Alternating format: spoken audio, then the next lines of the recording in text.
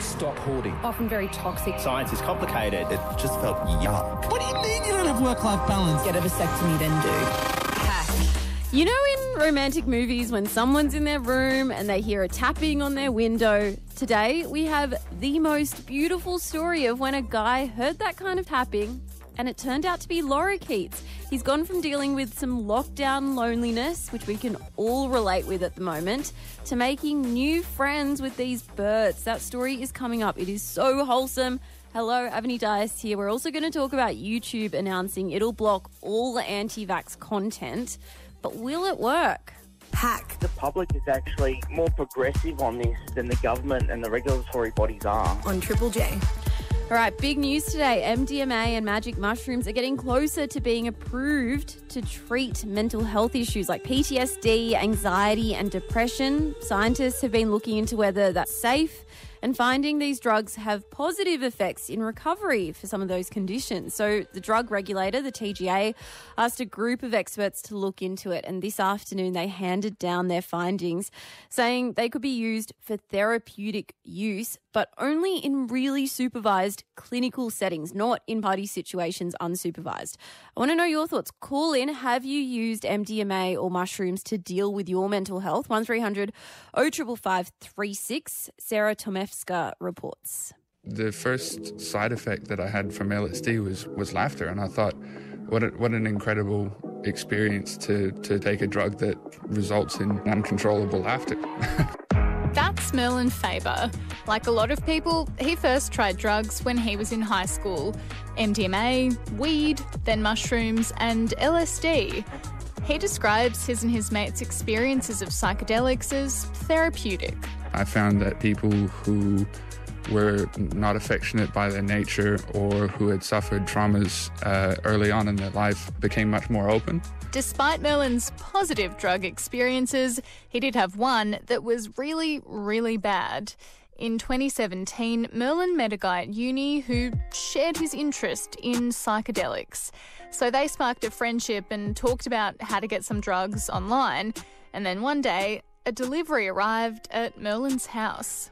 It was basically just I was asleep, heard a knock on the door, uh, went to sign for a package. I went back to bed thinking that it was just motorcycle parts or something that I had ordered from overseas. But yeah, it wasn't motorcycle parts. It was half a kilo of MDMA. About 10 or 15 minutes later after that, I just hear 20 car doors slamming outside my house and people on the front and the back door knocking on all the windows and yelling my name. And that's when I realised that the Australian Federal Police had become involved in the affairs. Merlin was charged with importing a marketable quantity of a border controlled drug that carries a maximum penalty of life in prison. Now, Merlin says he wasn't involved in ordering the drugs, but a jury disagreed. And in the end, he was sentenced to four years in jail with a non parole period of 16 months. What was prison like? It was definitely a significant impact. It's a high stress environment. There are people in there who are difficult to get along with, I guess. Merlin's recently been released on parole and now he's studying law at uni. But because of his criminal record, he might never become a lawyer. Despite that, he doesn't necessarily regret the experience. I mean, it's galvanized my resolve for advocating for a reassessment in attitudes towards how we treat people, mostly in regards to drugs. And this is a fast evolving space. Just a few hours ago, a report from an expert independent panel put together by Australia's drug regulator, the TGA, was handed down. The panel found that MDMA and magic mushrooms may show promise for therapeutic use, but only when they're used in really closely supervised clinical settings with intensive professional support. Now, we just have to wait until December for a final decision to be made on whether the drugs will be reclassified from prohibited to controlled. which means they could be used to treat mental illnesses. There's research ongoing at the moment looking at uh, psilocybin in the treatment of uh, treatment-resistant depression, for obsessive compulsive disorder, substance use disorders including smoking cessation and alcohol use, cocaine use. Um, it is really a burgeoning area where there's a, there's a lot of research happening at the moment. That's Dr. Stephen Bright from Edith Cowan University in WA. He's the director of psychedelic research, and he reckons it's only a matter of time before MDMA is used in medicine.